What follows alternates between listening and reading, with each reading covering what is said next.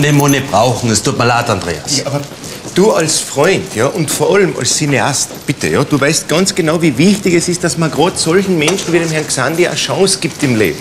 Du, ich bitte dich, denk doch an, denk an Buñuel, ja, denk an Antonioni, wenn die im Leben nie eine Chance gehabt hätten. Ja. Also Moment, Moment, also bitte, die Zeiten sind vorbei.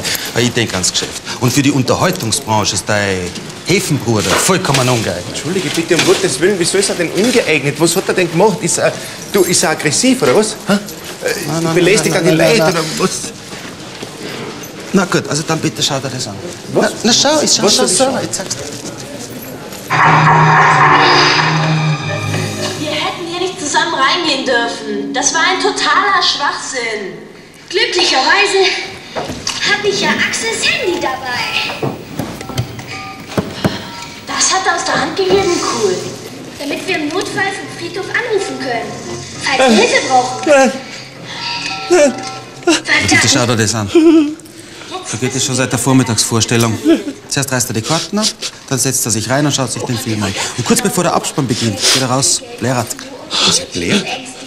Das war alles Ja, aber.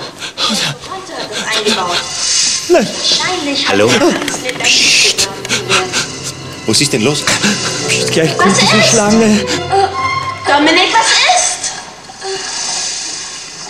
Und die Kinder die haben überhaupt kein Antiserum dabei. Das gibt's nicht. Ach so, na, das ist natürlich deppert, ja. Das ist ganz deppert.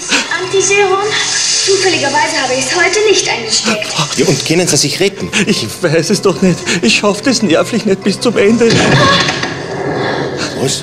So sehr gehen Sie da mit? Ich, ich, kann, Entschuldigung, ich kann jetzt nicht mitgehen. Jetzt kommt, jetzt kommt das mit der Schlange. Ich halte das nicht aus. Ja, na, ich sehe schon, das ist, äh, das ist vielleicht ein bisschen zu arg für Sie. gell? Ich, ich werde Ihnen was anderes suchen, etwas weniger Emotionelles vielleicht. Wie wär's mit Gärtner?